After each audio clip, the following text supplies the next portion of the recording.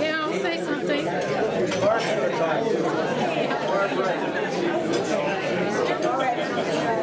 All right, Matt. You're next. Swallow the chicken.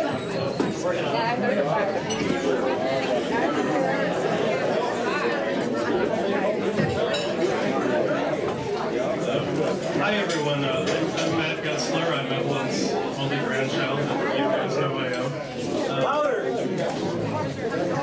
Thanks for coming out tonight. I want to say that first of all.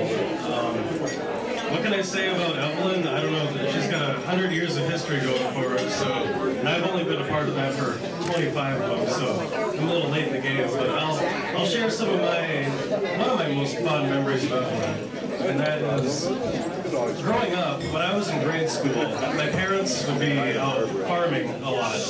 And uh, it was easy for Evelyn to take care of me and be the babysitter. And uh, a lot of times I would go to her place directly after school, and uh, she would help me out with my homework. And uh, you know, her old uh, school teacher ways would come out, and uh, she'd help me a lot. I remember with math specifically, and I would get frustrated sometimes with math and multiplication, and I'd tell her like, "Don't you have a calculator?" Like, I, I hate doing math, and she's like, "No." She'd take out a pencil sharpener, and she'd sharpen up a couple number two pencils, and she'd sit me down in front of a piece of paper, and she'd be like, "All right, now you're gonna learn how to do this in your head, and you're gonna be better for it."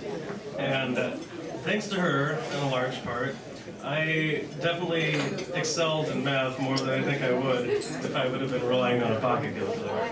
And I think that just goes to show the kind of like caring, educating woman Evelyn is. She is willing to help spread knowledge and help people and help me. And she's been kind to me my whole life and helped me in so many ways that all I can say is I love you, Grandma, and I hope we can come back here 10 years from now for your 110th birthday.